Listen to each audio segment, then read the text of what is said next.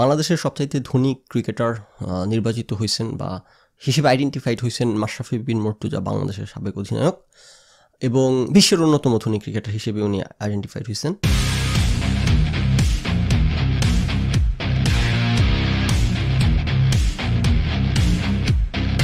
যে ইন্ডিয়ানরা এত কোটি কোটি টাকা কামাই করে, সেই ইন্ডিয়ানদের হইতেছে কাতারে উনি চলে আসছেন, ইন্ডিয়ানদের অনেককে ছাড়ায়। ইভেন বাংলাদেশের সাকিব আল হাসানকে ছাড়াই হচ্ছে উনি সবচাইতে ধনী ক্রিকেটার হয়েছেন বাংলাদেশের। বাংলাদেশের এবং নট অনলি ছাড়াই by many times Mashrafe bin Mortaza. So এক রাইট দেন অ্যান্ড দেয়ার আপনি জানেন যে এটা সম্ভবত কোনো রিলায়েবল খবর কি না you may start to wonder ponder and question right উচিত করা আর কি। অবশ্যই এই খবরটা যারা হচ্ছে খুব করে ফলো করে ইয়ে করতেছেন, সরকার বিরোধী যারা মানে আওয়ামী সরকার আওয়ামী লীগ সরকার বিরোধী সাইড যারা আছে, তারা এগুলো নিয়ে খুব নাচানাচি করতেছেন। সো মাশরাফি বিন মুর্তুজা যখন সরকারি দলে জয়েন করলেন, তখন আমি সেটা সমালোচনা করছি, এখনও করতেছি, সারা জীবন করতে হবে, এটা খুবই একটা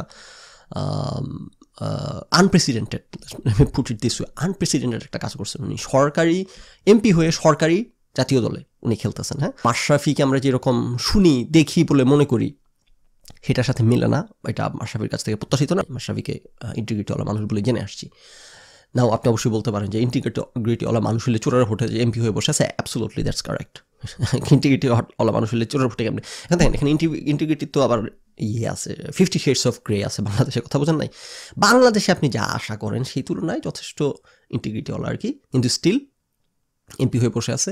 চুরির ভোটে স্টিল নিজের এলাকায় প্রতিপক্ষকে দমন করার নানান রকম স্টোরি আসে। অ্যাগেন এই যে স্টোরি আসে কেন বলতেছি? এই যে দেখেন, এরকম ফালতু ভিত্তিক জিনিস নিয়ে মানুষ নাচানাচি শুরু করে। একটা কিছু পাইলেই, ঘাস, ফুল, লতা পাতা কিছু একটা পাইলেই আপনার যাকে অপছন্দ, আপনি যার বিরোধী মত তাকে হইতেছে সাবস্টেন্টিভলি হইতেছে কনফ্রন্ট না করে আনসাবস্টেন্টিভলি হইতেছে অ্যাটাক করি আমরা রাইট সো কানামি এই কানাদের তো নিষেধাজ্ঞা প্রকাশ করে যাচ্ছে স্পেশালি অনলাইন আসা এই কালামি এখন হইতেছে স্প্রেড করার, করানোর ক্যাপাসিটি অনেক বেড়ে গেছে, যে কারণে আরও সমস্যা হয়ে দাঁড়াইছে এখন।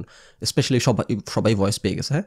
এবং এটা একটা একটা ইন্টারেস্টিং আলাপ হয়ে যাবে যদিও, যে সবাই ভয়েস পাওয়ার সমস্যা কি? কারণ শিক্ষিতগুলো যেই কাজ করে বেড়াচ্ছে দেখতেছি, তাহলে অশিক্ষিতরা ভয়েস পাইছে, সমস্যা নাই কোনো তাতে করে। তো এই খবরটা দেখার পর শোনার পর didn't make any sense made zero sense যে মাশরাফি ইন্ডিয়ান ক্রিকেটারদেরকে বিট দিয়ে ফেলছে, সাকিব আল হাসানকে বিট দিয়ে ফেলছে, যেখানে সাকিব আল হাসান অলরেডি সে টাকার বস্তায় ঘুমাইছে হ্যাঁ?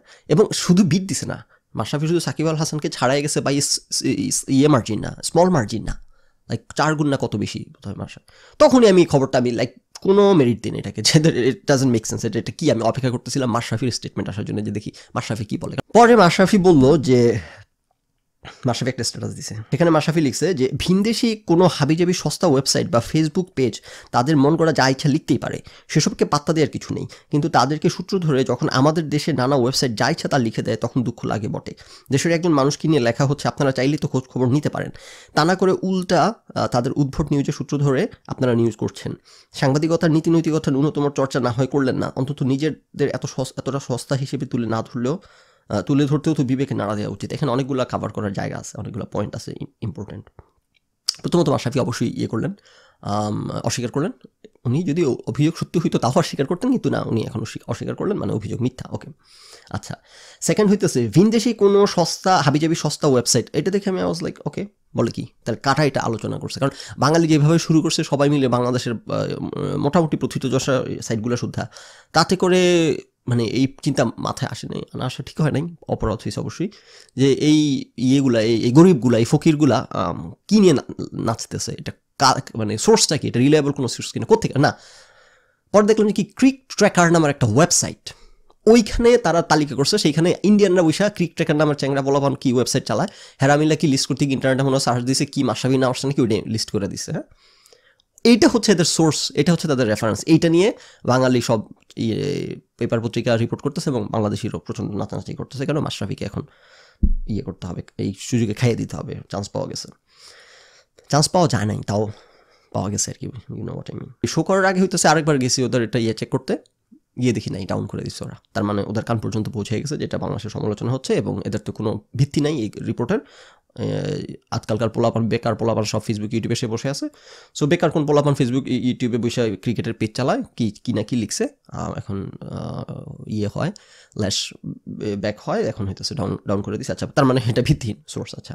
বাংলাদেশে যে টুইটারটা খবর করছিল, এরাও নামাই দিচ্ছে। তার মানে ভিত্তিহীন খবর আচ্ছা। এবং এটা ভিত্তিহীন, এটা like doesn't make any sense defies common sense যে মাশরাফি হইতেছে, সাকিবের চেয়ে চার গুণ বেশি সম্পদ ইন্ডিয়ানদের চেয়ে চার। এখন যারা বলার চেষ্টা করতেছেন যে এমপি হয়ে মাশরাফি কী পরিমাণ চুরি করছেন I don't believe it I don't buy it Mashrafe MP হয়ে চুরি এখন যে, ওই কথাটা যে, এমপি হইতে গেলে তো অবশ্যই যে বিরোধী দলকে নিপীড়ন করতে হবে, চ্যাংরা পোলাপানরে প্রশ্রয় দিতে হবে, এগুলারে, এগুলোর চাবিরি খাওয়ার টাকা দিতে হবে, এগুলো চাঁদাবাজি করবে, এগুলোকে অ্যালাউ করতে হবে। নাহলে বাংলাদেশে ক্ষমতা কেউ আসতেও পারে না, থাকতেও পারে না। সো মাশরাফি যদি এটা বলার, দাবি করার বোঝানোর চেষ্টা করেন, যে উনি তাহাজুদের নামাজ পড়েন আমাদের মাননীয় প্রধানমন্ত্রীর মতো, না, এটা I don't buy it for a second আপনি সরকারি দল করতেছেন, আপনি বাংলাদেশের রাজনীতি করে ক্ষমতায় আসছেন, ঠিকই আছেন। ভালো কথা। খুব, আমরা খুব ভালো করে জানি কি, আপনি কী কী অ্যালাউ করতে হয় আপনাকে, আপনি চান বা না চান। সো সেটা গেল। আচ্ছা এবার সেকেন্ড পার্ট হচ্ছে যে এইসব ভুজুং ভাজুঙের সূত্র ধরে আমাদের নানা ওয়েবসাইট যা ইচ্ছা তাই লিখে দেয়, তখন দুঃখ লাগে বটে। কেন দুঃখ লাগে? এই যে নিউজের সূত্র ধরে আপনারা সাংবাদিকতার নীতি নৈতিকতা এখন সাংবাদিকতার নীতি নৈতিকতার প্রশ্ন আসে কেন? আপনি মারা খাওয়ায়। এই জিনিসটা তো সবসময় বলি, বাঙালি যখন নিজে মারাটা খেয়ে যাবে, তখন সাথে সাথে একেবারে নীতিকথা উগ্রানো শুরু হয়ে যাবে। এই দেশে প্রতিনিয়ত সকলে মারা খাচ্ছে। তখন হইতেছে স্বপ্নের আলাপ করবে, আসে না কিছু? এই সোলামান সুখান আইফার হোসেন ইয়াহি আমিন। অন্যরা যখন মারা খায়, নিজে যখন সুখে আছে, শান্তিতে আছে এবারে সুজলা সুফুলার গল্প শোনায়। সারা দেশে কিন্তু সকল মানুষ মারা খেতেছে এদের এইসব কথার সাথে কেউ রিলেট করতে পারে না। গালাগালি করে ধুমায় ফেলে এগুলো। এসব কথা বললে যে বিদেশের লাইফ কি, বাংলাদেশ কি কোনো অংশে কম নাকি? গালি বন্যা বয়ে যায়। কেন বা নির্বাচন এখানে এদের এইসব বুলশিটের সাথে কোনো মানুষ রিলেট করতে পারে না, কেউ কানেক্ট করতে পারে না। ওই এদের মতো কিছু বাবু আছে, এরা কানেক্ট করতে পারে আর কি। সেই বাবুরা বসে বসে অন্যের সারাটা দেশে এই মানুষের সাফারিং এরা হইতেছে সুজল সুফলা গল্প বলে বেলায় মাশরাফি কিন্তু জাতীয় কি জানি, ভালোবাসা, দেশপ্রেম দেশাত্মবোধক বলে বেড়াবে। এখন মারা খেয়ে এখন উনি বলতেছেন যে সাংবাদিকতার নীতি নৈতিকতা ন্যূনতম চর্চা করে না। সেটা তো আমরাও জানি। এটা তো মাশরাফির কোনো সাফারিংও না। একটা কথা উঠছে, উনি পাওয়ারফুল লোক, সরকারি দল করেন ক্ষমতা আছে ওনার কেউ ফুলের কোনো গায়ে দিতে পারবে না। একটু সমালোচিত হয়েছে এটা নিয়ে একটু ইজ্জতে লাগছে, এই একটুকের জন্যই। তাতেই করে উনি এখন এখন রিয়েলাইজ করে ফেললেন হঠাৎ করে যে বাংলাদেশের সাংবাদিকতার, নীতি নৈতিকতা ন্যূনতম চর্চা। হ্যাঁ হয় না। এরা যে করে না, এটা তো আপনি জানেন খুব ভালো করে। ওই জন্যের বেলায় যে সারাদিন একে খেয়ে দিচ্ছে, ওকে ইয়ে করে দিচ্ছে, সরকারের সাথে মিলে একটা গ্রুপ অফ মিলেমিশে গুন্ডামি করে বেড়াইতেছে, তখন কিন্তু কোনো সমস্যা না। আজকে আপনাকে খেয়ে দেয়, আপনি এখন সাংবাদিকতা নীতি নৈতিকতার প্রশ্নে আপনি প্রশ্ন তুলতেছেন। এখন রিয়েলাইজ করলেন হঠাৎ করে যে এদেশের সাংবাদিকরা তো আরেক বিদেশের ওয়েবসাইটের বুলশিট এগুলার খবর হিসেবে প্রচার করে বেড়াইতেছে এবং এই দেশে শিক্ষিত শিক্ষিত লোকরা ওইগুলো আওড়ায় যাচ্ছে এবং সারা দেশ মিলে কীভাবে একজনকে কোণঠাসা করে ফেলতেছে যেটা কোনো ভিত্তি নাই। আচ্ছা। নাও এখন ভিত্তি আছে কিনা আমি জানি না, কারণ হচ্ছে যে হয়তো এর দাবি সত্যি। সত্যি না, বলতেছি কথার কথা হাইপোথিসাইজ করতেছি, হয়তো। কিন্তু সেটা কিসের ভিত্তিতে আমরা দাবি করব? ইন্ডিয়ান ক্রিক ট্র্যাকারের অনলাইন পোর্টালের বেকার পোলাভানের একটা ইয়ের ভিত্তিতে যেটা আবার নামাই ফেলছে, না না না, সেটার ভিত্তিতে আমরা এটা বিশ্বাস করব না, কিন্তু এটাই আরেকটা দুঃখের জায়গা বলতে চাচ্ছিল আর কি আমরা কী করে বেড়াই? আপনার তো স্ল্যান্ডার করা দরকার নেই মাসাবিকে অপছন্দ করলে। মাসাবি সরকারি দল করে চুরির ভোট এমপি সেটা খুব ভালো কথা, সেটা সমালোচনা আমিও করছি, আপনিও করবেন সবাই। স্ল্যান্ডার করবেন কেন? আপনি তাকে অপছন্দ করেন বলে বুলশিট নিয়ে দৌড়াবেন কেন? এবং এই কাজগুলো যে আপনি করতেছেন, যে কথাটাই এইমাত্র মাসাফিকে বললাম এবং ইহি আমিনদেরকে বলি, যে আপনার অন্যের সব কিছু ইগনোর করে করে নিজে ভালো থাকলে খেলে সব ইগনোর করতে রাজি আছেন। সো আপনারা যারা এই স্ল্যান্ডারগুলো করতেছেন বুলশিট পেয়ে টেনে দৌড়াচ্ছেন আরেকদিন আপনার সাথে এটা হবে না, আরেকদিন আপনার পেছনে অনলাইনের এই বুলশিটার লেগে গিয়ে আপনাকে নামাই দিবে না, আপনাকে খেয়ে দিবে না, আপনাকে অপদস্থ করবে না, সেটার নিশ্চয়তা আপনাকে কে দিচ্ছে সো এগুলো করবেন না সব বুলশিট করবেন না নাম্বার ওয়ান নাম্বার টু এবার আসে মিডিয়ার ব্যাপারে মাসাভি যে কথাটা বললেন তো সত্য কথা যে মিডিয়ার এরা যেরকম সাংবাদিকতার নীতি নৈতিকতার ধার ধারে না, পরোয়া করে না। এই যে বাংলাদেশে এখন কি জানি প্রীতম শেহতাজের বিবাহ হচ্ছে, এটা নিয়ে আমি একটু লেখালেখি করছিও ফেসবুকে আলোচনা করার চিন্তা ছিল না, এখন বাইতে প্রসঙ্গ চলে আসছে মাসাফির এই কথার লাইন ধরে, লেজ ধরে এই জন্য একটু করিও। নীতি নৈতিকতার কথা পৃথিবীর কোন রেপুটেড যে ইয়েটা মিডিয়া এগুলো ট্যাবলয়েড ম্যাগাজিন মানে যেগুলো হইতেছে বস্তি ম্যাগাজিন যেগুলো ডেডিকেটেডলি বস্তি ম্যাগাজিন ট্যাবলয়েড তারা এগুলো করে সেটা সেটা হইতেছে কি জানি বলে আপনার টিকটক সেটা আলাদা বিষয়। টিকটক টিকটকে টিকটক করতেছে এটা আলাদা বিষয়। নিউজ রিপোর্ট করে, সংবাদ করে বাংলাদেশ, পৃথিবীর কোন রেপুটেড ইয়ে ইয়েটা ডেইলি মিল টেলিগুলো বাদ দিলে হ্যাঁ যেগুলো ক্লিক বেটির জন্য বিখ্যাত। রেপুটেড যারা সিএনএন বলেন, আপনি বিবিসি বলেন এবিসি নিউজ বলেন এমএসএনবিসি বলেন, আপনি এই যে New York Times Washington Post আপনি আরও যা যা আছে সারা পৃথিবীতে। কে এগুলা করে বেড়ায়? দেশের কোন পোলাপান কি বিয়ে করছে, না করছে? সারা দিন এগুলো ফেসবুকে ছবি পোস্ট করতেছে মিডিয়াগুলা। সারাটা দিন এগুলো ফেসবুকে মিডিয়া কেন কেন? এরা আপনাদের জোর করে আপনাদেরকে এগুলো ক্লিক করাবে, আপনাদেরকে এদের ফকির নিয়ে এদের হইতেছে ক্লিক করে বেঁচে থাকতে হবে। এটা অবশ্য দেখেন এটা মানে আপনি যদি সিরিয়াস আলোচনা করতে চান তাহলে এটা মেক সেন্স কারণ গরিব দেশে গরিবের কিন্তু অনেক বিপদ। আপনি গরিব হইলে কিন্তু আপনি ক্লাসি হইতে পারবেন না। আপনি গরিব হইলে আপনি আনক্লাসি অটোমেটিক হয়ে যাবেন, কারণ গরিবই আপনাকে ক্লাসি হইতে দিবেন রাইট সো গরিব দেশে এগুলো গরিব, যদিও সুজলা সুফলার গল্প শুনি কাজকর্ম দেখলে কিন্তু বুঝবেন যে একটা ক্লিকের জন্য দুইটা পয়সা ইন্টারনেটে এসে কামাই করার জন্য কী করে বেড়াইতেছে বাঙালি হ্যাঁ? সব নেমে পড়তেছে নর্দমায়। সো সাংবাদিকতা নীতি নৈতিকতা কিছু কেউ মেনে চলে না। এরা দুই দিন আগে পরিমণি, তার দুই দিন আগে হইতেছে বিদ্যা সিনহা, মিম নিয়ে কি একটা অবস্থা করে, তৈরি করে। কেউ খালি, তারা খালি অপেক্ষা করে বাংলাদেশের সাংবাদিকরা, কে কোথায় বিয়ের পিড়িতে বসবে, বসলেই হইতেছে এগুলোর ছবি। দিনে হইতেছে তিন বেলা করে প্যারাসিটামলের মতো খাবার আগে এবং পরে প্রেসক্রাইব করবে মিডিয়ার বদমাইশগুলা।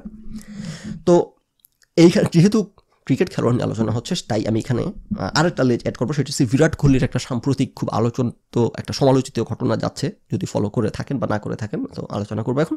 সেটা হচ্ছে যে, বিরাট কোহলির হইতেছে বিশ্বকাপ খেলাটার যে রুম হোটেল রুম এখানে যারা কেয়ার টেকিংয়ের দায়িত্বে ছিলেন, এমন একজন হইতেছে ভিডিও করে, এটা হচ্ছে প্রচার করে বেড়াইছেন ইন্টারনেটে এবং সবাই তাও খুবই আমি দেখাই ভিডিওটা, হয়তো এই বিরাট কোহলির বাথরুম থেকে শুরু করে মানে খুবই সালার ভোদাই আর কি, ভোদাই কাজকর্ম। মিনিমাম কমন সেন্স কারও থাকলে এটা বোঝা উচিত যে কারও বেডরুমকে এইভাবে জুতা, ওই যে ক্লজেট ওই যে ওয়ার্ড্রোব এগুলো সব খুলে খুলে দেখানো যায় না। আচ্ছা যা হোক। না সেখানে বিরাট কোহলি যে কথাটা বলছেন, এটা নিয়ে আমি আবার একটু কথা বলব। সেখানে বিরাট কোহলি বলছেন লাস্ট লাইনটা please respect people's privacy and not treat them as a commodity for entertainment really really Virat Kohli who's talking আপনার ওয়াইফ হচ্ছে আনুষ্কা শর্মা। মিডিয়াদেরকে কেন গালাগালি করে? এরা হইতেছে সমাজটার একটা বস্তি বানায় রাখছে। আবার এরাই লেকচার দিবে। এরাই আবার মিডিয়াতে কলামের পর কলাম লিখবে প্রাইভেসি নিয়ে যে এখন মাশরাফি এখন কিন্তু মিডিয়া, এখন নীতি নৈতিকতা বাংলাদেশের মিডিয়া, সাংবাদিকতা নীতি নৈতিকতা ধারণ করেন এটা আজকে মাশরাফি ঘুম থেকে উঠে টের পাইলেন আর কি। সো বিরাট কোহলি কথাটা বলতেছেন। বিরাট কোহলির ওয়াইফ কিন্তু একজন, আমি বলি নর্তক নর্তকী বলার পিছনে অন্য কারণ আছে যা হোক। এদের কাজকর্মের কারণেই বলি।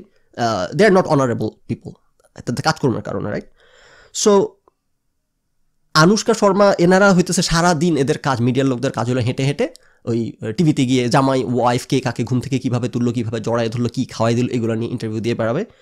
বিরাট কোহলি বলতেছেন যে কমোডিটি না এন্টারটেনমেন্টের কমোডিটি না এনারা মিডিয়ার লোক। না না না, তারা নিজেরাই নিজেদেরকে এন্টারটেনমেন্টের কমোডিটি পশার জন্য করে বেড়াচ্ছেন। আমরা যদি, আপনি যদি আগ্রহী না হন এদের পার্সোনাল বেডরুমের স্টোরি শুনতে, তারা শোনায়, ছাড়বে আপনাকে সারাটা দিন। এবং এই জিনিসগুলো এখন কিন্তু আমরা এগুলো দেখে দেখে এখন ফেসবুকে মানুষ উঠে সোশ্যাল মিডিয়ায় এসে, এখন মানুষ শিখছে এই মিডিয়ার লোকদের কাছ থেকে, ও আচ্ছা হাজব্যান্ড ওয়াইফের যা আছে সব কাপড় ব্লক করতে হবে হ্যাঁ? সব কিছু হইতেছে কমোডিটি হিসেবে সেল করা যায়, যেটা কিন্তু একটা অনারেবল কাজ না একটা রুচিশীল কাজ না। তো এগুলো কিন্তু এদের কাছ থেকে আমরা শিখছি।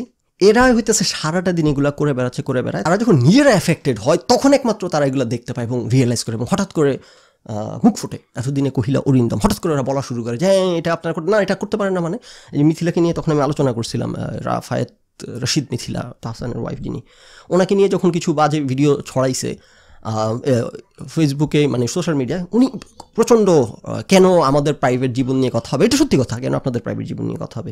ওমা দুই দিন পর উনি বিয়ে করলেন হইতেছে যে ইন্ডিয়ান ভদ্রলোকে এখন উনি প্রথম আলোতে এসে বলতেছেন যে আপনাদের কি জানি বলে আগ্রহ নিবারণ করতে আসছে। কেউ কিন্তু কোনো আগ্রহ দেখাচ্ছে না কিছু না, ওনারাই কিন্তু। কি জানি বলে আমি জানি আমাদের ব্যাপারে আপনাদের অনেক আগ্রহ, আপনাদের আগ্রহ নিবারণ করতে আমরা আসছি প্রথম আলোতে। হ্যাঁ এগুলো বলতেছেন। কেন আপনার আপনাদের হাজব্যান্ড ওয়াইফের কাপলের লাইফের আগ্রহ নিবারণ? সাধারণ মানুষ মবের সামনে পাতে আপনি কেন আপনার হাজব্যান্ড ওয়াইফের ঘরের কাহিনী বলতে আসতেছেন? কেন এটাগুলোকে আলোচনার বিষয়বস্তু করতেছেন? আপনার পার্সোনাল লাইফ আপনার প্রাইভেট লাইফ আপনার বেডরুম লাইফকে কেন মানুষের আলোচনার পাতে তুলে দিচ্ছেন?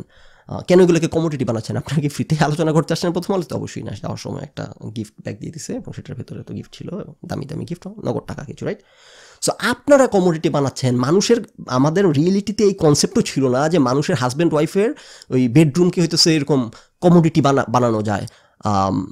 এটা সাধারণ মানুষের চিন্তাতে আসার কথা না। এগুলো মিডিয়া মিলে তৈরি করছে। করে এখন ফেসবুক ইন্টারনেট আসাতে এখন সবাই শুরু করে দিছে। সো এই কথাগুলো মানে এই ইনকনসিস্টেন্সিগুলো এই এক্সপেকটেশনগুলো আমি মানে আমি হিসাব বুঝি না আর কি। ওনারা কী বলেন, কী বলতে চান? সো এখানে আমি দুইটা পয়েন্ট আলোচনা করতে চাইছি। নাম্বার ওয়ান বিং যে, এই মাশরাফির এই ব্যাপারটা নিয়ে যে, এই যে শুরু করে দিল মানুষ, এই যে অনলাইনে এই জিনিসগুলো শুরু করেন, সবসময় এটা মাথায় রাখবেন যে, নিজে কোনো জায়গায় বসাবেন। যে, আমার নামে আজকে কেউ একটা কথা, ফালতু কথা তুলে দিল এবং সারা ইন্টারনেট সারা দেশ, সারা মিডিয়া মিলে আমার পিছনে লেগে গেল, তাহলে আমার কাছে কেমন লাগবে? সো এই ধরনের উদ্ভট কী জানি বলে, আত্মসম্মানহীন কাজকর্ম করার আগে একটু ভাববেন, একটু কমন সেন্স ব্যবহার করবেন, যে does it make any sense একটা কথা তুলে দিল, একটু ভেরিফাই করবেন শুনে তো সেন্সিবল লাগতেছে না কথাটা, একটু ভেরিফাই করি তো কোথেকে আসলো, কে বলল, কি বলল? না, ওই কি জানি ওই নিয়েছে, ওই নিয়ে যা ওই ওই নিয়েছে, ওই নিলে কি জানি কান নিয়েছে চিলে কানের পিছিয়ে মুর্চি ঘুরে আমরা সবাই মিলে, চিলের পিছিয়ে মুর্চি ঘুরে আমরা সবাই মিলে হ্যাঁ? ওই কবিতা তো ওই কবিতা এখন আরও বেশি প্রযোজ্য সোশ্যাল মিডিয়ার যুগে নাম্বার ওয়ান পয়েন্ট এবং নাম্বার টু পয়েন্ট হইতেছে, আজকে যারাই হইতেছে একটু চিপায় পড়ে, হঠাৎ করে তাদের কোথেকে জানি মুখ ফোটে, চোখ ফোটে। তারা কিন্তু এই দেশেই থাকে, এগুলোর মধ্যে এগুলার আশ্রয় প্রশ্রয় দিয়ে যায়, এগুলাকে ফিউয়েল করে। কিন্তু নিজে যখন আবার এগুলার ভিক্টিম হয়, তখন হঠাৎ করে মোরালিটির নীতি নীতি, নৈতিকতার আলাপ যে, না, আমাদের পার্সোনাল লাইফকে সম্মান করতে হবে আপনারা কথা বলতে পারেন। না না, পারেন না না, আপনারাই কথা বলার শুরু করে দিছিলেন। আপনারাই খোঁচায় মানুষকে দিয়ে কথা বলাইছেন। এখন আবার বিপদে পড়া, এখন আবার এক্সপেক্ট করতেছেন যে, ও কোনটা বলতে পারবে, কোনটা বলতে পারবে না, এটা উনি নির্ধারণ করে দিবেন আর কি হ্যাঁ? আমি আসছি আপনাদের কৌতূহল নিবারণ করতে, কিন্তু কৌতূহলের মধ্যে কিন্তু আমার পরকীয়ার ব্যাপারটা নিয়ে আলোচনা করবেন না, ওটা কিন্তু আমার জন্য এম্বারেসিং হয় হ্যাঁ? কি সোশ্যাল মিডিয়া আসা সব কিছু মিলে একটা মাত বাজার হয়ে গেছে আর কি। এখন ইলান মাস্ক টুইটার কিনে ফেলছেন, একটা সবচাইতে জায়ান্ট সোশ্যাল মিডিয়াগুলোর একটা, এখন কি হতে যাচ্ছে সোশ্যাল মিডিয়ার ফিউচার এটা একটা ইন্টারেস্টিং আলাপ, এটা হয়তো একটা লম্বা আলাপ কখনো করব অন্য কোথাও, আজকের জন্য এটা তোলা থাক।